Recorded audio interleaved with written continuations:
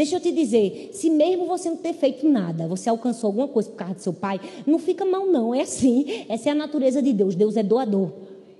Toda hora eu estou o tempo todo dizendo para Deus, Deus, obrigada por todas as coisas que o Senhor tem me dado sem eu merecer nenhuma delas. Porque tudo que eu tenho é graça e favor de Deus. Graça e favor de Deus. Não adianta, eu posso morrer de fazer coisas para Deus. Nunca, eu nunca vou chegar na posição de merecedora. Porque tudo eu recebo porque sou filha. Porque Deus me deu salvação, vitória, graça, sustento,